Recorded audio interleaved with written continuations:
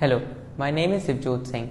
I wanted to study further in abroad in Canada, so my father suggested me to come and meet the counselors at Globedwise. I came to Globedwise and here my counselor Megha ma'am helped me a lot through this phase. First of all, I submitted my documents over here and she told me to get my get IELTS cleared as soon as possible. So I studied IELTS over here and through their help I was able to clear my IELTS exam with great score. I got 8 in reading and listening whereas 6.5 in writing and 7 in speaking.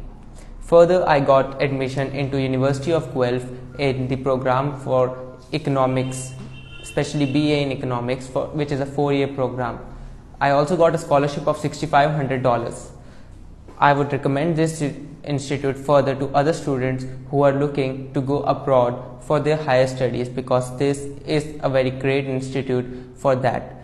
I also joined here, but I was also a bit worried that what will happen but this institute has came out to be the best in this business here's my canadian visa